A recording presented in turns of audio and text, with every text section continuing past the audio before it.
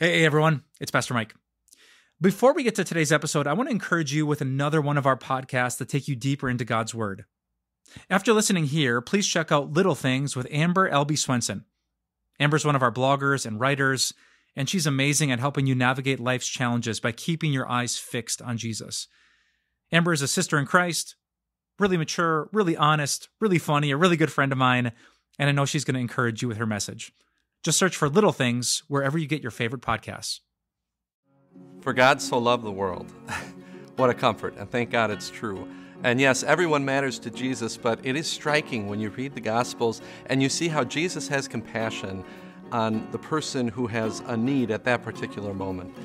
Uh, there was one time in Jesus' ministry where a man with leprosy came to him, uh, and the Bible says that this man was full of leprosy. In other words, uh, this disease was in its later stages. He was one of the literally untouchables of the ancient world. Uh, there was no known cure for this disease. And maybe one of the worst things about it wasn't just that the sufferer would be uh, physically affected, but that it would mean isolation for him, away from his family and his friends and his, and his community. Uh, and so this man was pushed out uh, to live in the lonely places of the desert with other people who suffered from the same torment. And I mean it when I say that. It's why the ancient people called the disease leprosy, uh, because leprosy is a word that means to be stricken by God. I mean, you can only imagine how, how long he had watched his family grow up from afar, or how many times he had to cry out, unclean, unclean to the passerby to keep them at a safe distance. And in fact, the, the penalty or the punishment for not yelling unclean was stoning. How long had it been since that man felt human skin touch his own? But this man hadn't despaired. Instead, he goes up to Jesus and he falls at his feet and he speaks one of the most beautiful prayers in all of Scripture in just nine words, in English anyway. He said, If you are willing, you can make me clean. What a perfect prayer. Oftentimes, when we have our greatest need, our prayers are short. Lord, help me, please. Amen. You know. If you are willing, you can make me clean. It's a perfect prayer because there's no complaining. Uh, uh, the man isn't making demands of Jesus. Instead, he's throwing himself entirely on the will of Jesus. He knows that if Jesus isn't willing, well, then he's going to die. He can't imagine it, but he's not going to lecture Jesus. Instead, he throws himself entirely on the will of Jesus. And then the next line in the account, you need to read a thousand times and then some, and you still won't mind the depths of Jesus' love. It says that Jesus looked at the man and he had compassion for him. And it uses that special word that means that Jesus cared about the man so much that, that his guts, his insides, were turning over inside of himself because of how much he cared. And then he did the seemingly unthinkable. He reached out and he touched the man. And just imagine the gasps of horror at the bystanders who see Jesus reach out and touch a leper. Nobody does that. Jesus actually touched a leper. But just think about what that meant to that man that touch. It meant everything. And then Jesus went on and, and did something even better. Uh, in the, with the same simplicity as that man's prayer, he said, I am willing, be clean. And instantly, like that, the man was cleansed of his leprosy. A, a simple prayer, a powerful answer. Have you ever felt like the outcast? I, I mean, honestly, sometimes it's our own fault but then sometimes it's not. I mean, perhaps your family doesn't understand you. Maybe your coworkers look down on you. Do some of the kids make fun of you in school? I'm so sorry. But you need to hear the answer that Jesus gives to your prayer I am willing, be clean. Uh, now, if people were shocked at Jesus touching a leper, how much more should we be shocked that Jesus was willing to reach out and touch you and me Jesus had compassion on us and he came for us. I mean, why leave heaven uh, for the slime pit of earth? Why uh, trade his holiness to touch me and take my sin on him on the cross? And yet he did. He did it because he loves me, he did it because he loves you. Always remember your greatest benefit is at the cross. Uh, no matter what may be happening in your life, you can go to Jesus there and hear his answer to your prayer I am willing, be clean. When you find yourself walking away from Jesus in life, no matter what you've done, there's forgiveness for every sinner. even before you pray, if you are willing. Jesus grants the request. Let's pray. Jesus, you care for the whole world, but you also care for each person in need. You are willing, you can make me clean. Point me to your cross every day to hear your answer. I am willing, be clean. In your precious name I pray. Amen.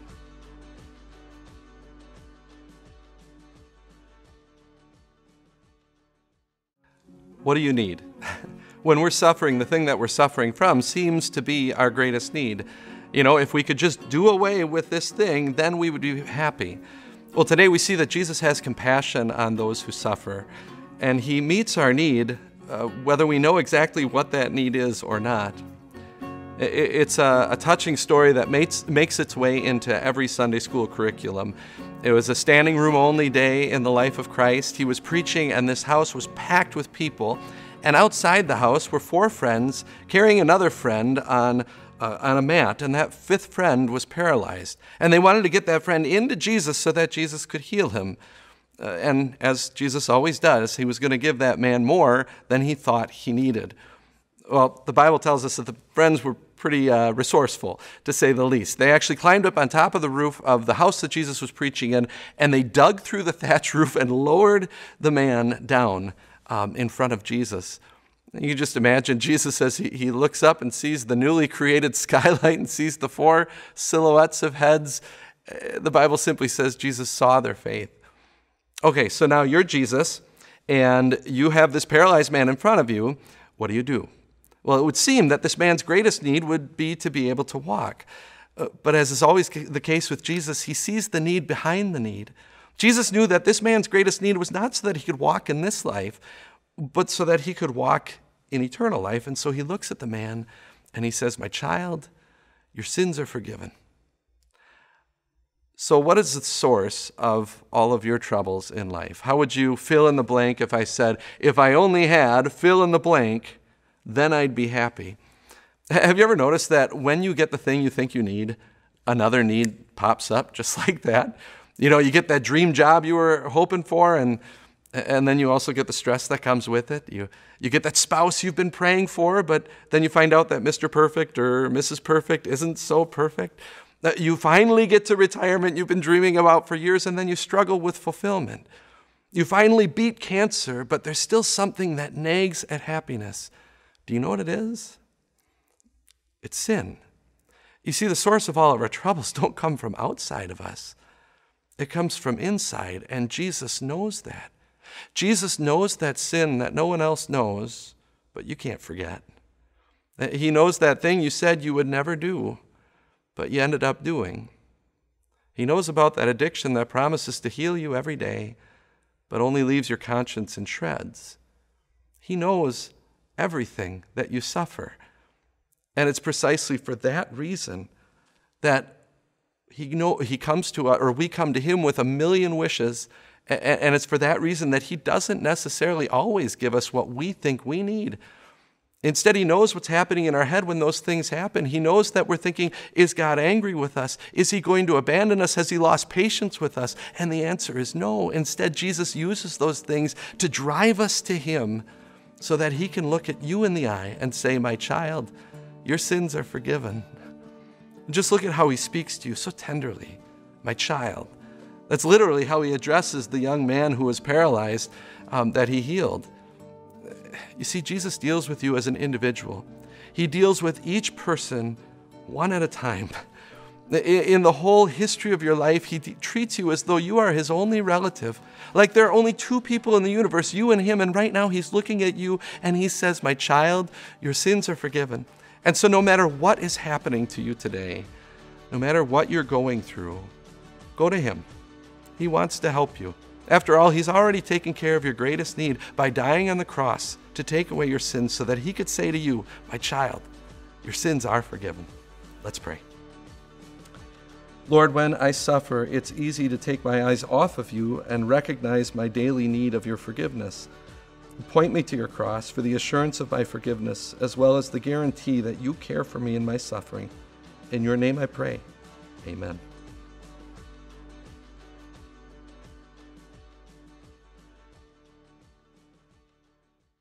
This week, we're talking about how Jesus has compassion on each person. Yes, he cares for everyone, but he cares for each person and their individual need. Uh, today, I want to talk about how Jesus has compassion on the controlled. Now, what do I mean by that? Um, yes, the, the account for today is Jesus casting out a demon from a demon possessed man, but I'm not necessarily just talking about physical demon possession. Um, have you ever heard anyone talk about uh, being uh, the, the struggling with their demons? Well, it's true. I mean, evil is behind every sin, and it's controlling, like a demon sinking his talons into your soul. And Jesus hates evil. Uh, you could see that back when evil and sin first entered the world back in the garden.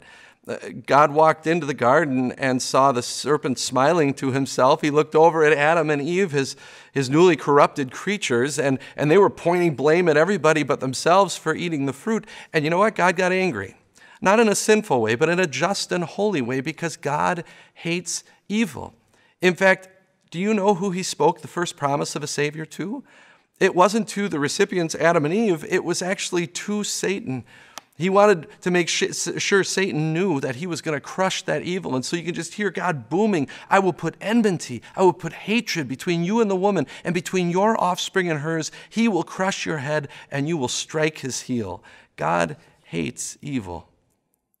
And so you, you fast forward uh, to the account in the New Testament before us today, and, and it's an account that makes the hair on your arm stand on end. There was this demon possessed man, and he lived out in the caves. He screamed out all night, every night, and he cut himself with stones. And one day he introduced himself to Jesus, and it's the creepiest name in the world. He said, My name is Legion, for we are many. I dare you to say that to yourself in a dark basement. That is creepy because demons are powerful. And yet, in the presence of Jesus, we see the limits of their power. Uh, you see, demons know that who do you think you are? Look on Jesus' face uh, when somebody so evil is trying to hurt someone so dear to Jesus. finally, in the presence of Jesus, the demons have no other choice but to leave. Jesus hates evil. And do you know why they have to leave? Because Jesus told them to. That's how much more powerful Jesus is than demons. And that's maybe something we need to understand. Um, when you think of the devil, don't think of the devil as the opposite of God. Oh, he's certainly bad enough to be that, but he's not big enough to be that. You see, Satan is not a God, uh, not even close. He's, he's a creature. And hell, by the way, is his prison. Uh, hell's not his home. What demons have control of you? Is it an addiction? Is it uh, anger that rides too close to the surface? Is it incessant selfishness? Well, know that Jesus wants to cast those demons out too because he wants to make his home in your heart. Listen to what he says in Luke 17. He says, The kingdom of God does not come with your careful observation, nor will people say, Here it is, or there it is, because the kingdom of God is within you. Jesus wants to cast those demons out of your heart, and he has. Remember, it's what he promised to do in the garden. Jesus came into this world to do battle for your soul, and the devil lost. Uh, Jesus crushed the devil's accusations against you about all the sins you do by paying for all of them on the cross, and the devil lost.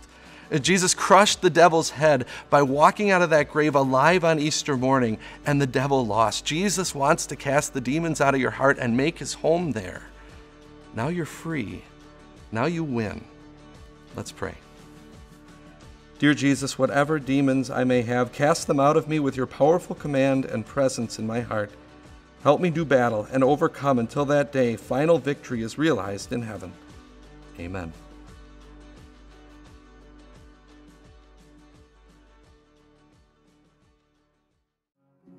This week, we're looking at the compassion of Jesus for each one. And today, I'd like to mix it up a little bit and look at Jesus' compassion for the masses, because although he cares for each one, he also cares for everyone. Do you remember the feeding of the 5,000? Uh, so the disciples had just come back from their preaching mission across the countryside, and Jesus knew they needed some rest, so he sent them ahead uh, to go and, and rest up for a little bit. But the crowds uh, beat Jesus and the disciples there, and when Jesus saw them, it says something touching in the Bible. It says, He had compassion on them because they were like sheep without a shepherd. So He began teaching them many things. In other words, He gave them what they needed most. He gave them food for their souls, But then, of course, you know what happens next.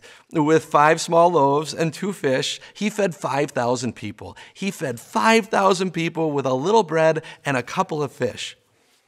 Now, have you ever put that miracle into perspective? I mean, think about it this way Is it any greater miracle than Jesus feeding billions of people every day? Is it really any greater miracle than Jesus feeding you every day? Uh, take 5,000 meals and divide it by three meals a day, and you come out to about four and a half years worth of days. So that means if you are not yet in kindergarten or almost in kindergarten and watching this, then you've experienced the equivalent of this miracle. And if you're 90 and watching this, then you have experienced this miracle over 20 times. Jesus has compassion on the masses, He has compassion on you, and He provides for your bodily needs.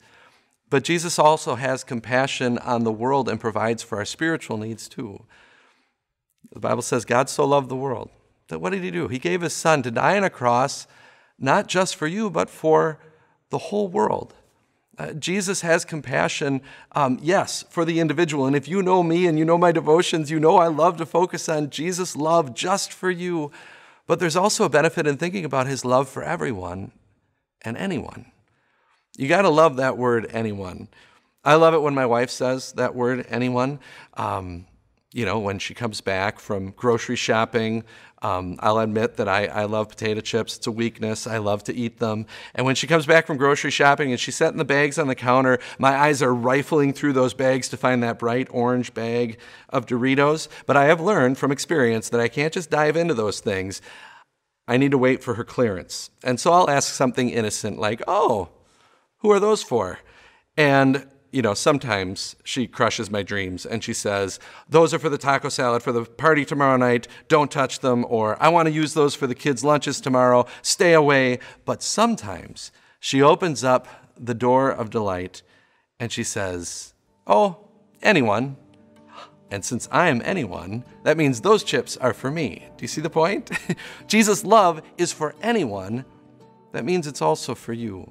And so, no matter what you've done, no matter who you've been, no matter how far you've wandered away, no matter how deep you've fallen, Jesus loves the masses. Jesus' love is for anyone. That means it's for you. Let's pray. Dear Jesus, I know you love the whole world so much that you came to save each and every person that has ever lived. Today, comfort me with the fact that since you love the masses, that means you also love me. In your precious name I pray. Amen.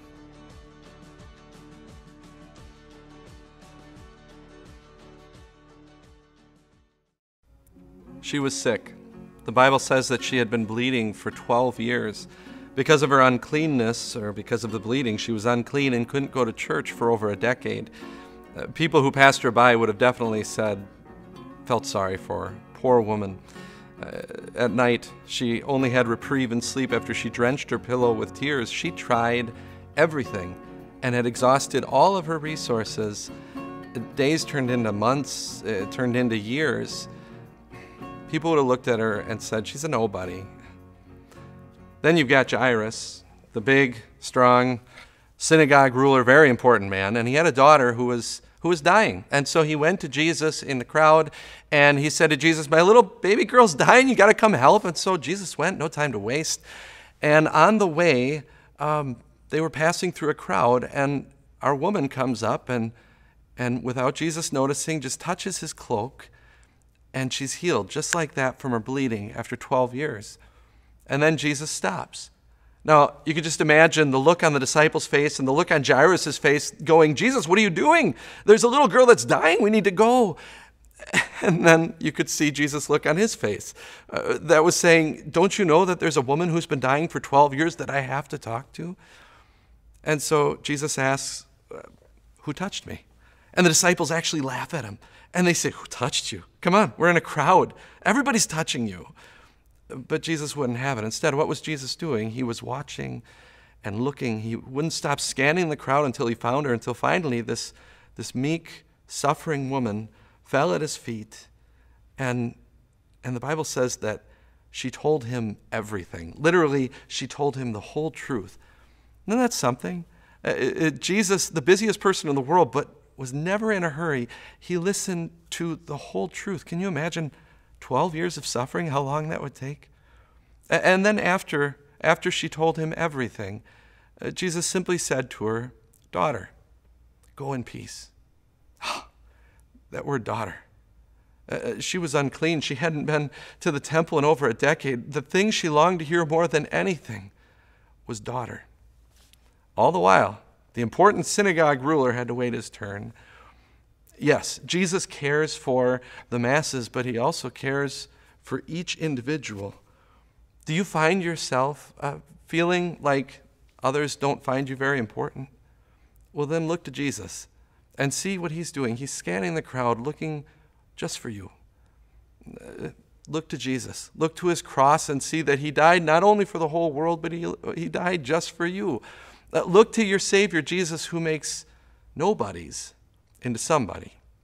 And just in case you're wondering if Jesus helped Jairus' daughter, he did. After raising her from the dead, um, there's this little line at the end of the account that some might just gloss over, but I don't think we should. It says, And Jesus told them to give her something to eat. Do you see why that's such a beautiful line? Do you think her parents didn't know to give her something to eat? Of course they did. They had been feeding her for 12 years, but it shows that Jesus cared about her down to the last detail. The one that nobody notices, Jesus notices as much as he does Peter and James and John. What a comfort that is. Uh, when you think that nobody cares, remember that Jesus cares not just for the masses, but he cares for you down to the last detail. He cares for you as an individual. Let's pray. Dear Jesus, thank you for blessing this week. Thank you for showing us that you care for the outcast, for the suffering, the controlled, the masses, and especially the individual in need. Teach me to especially care for those in my life who are in need. In your name I pray. Amen.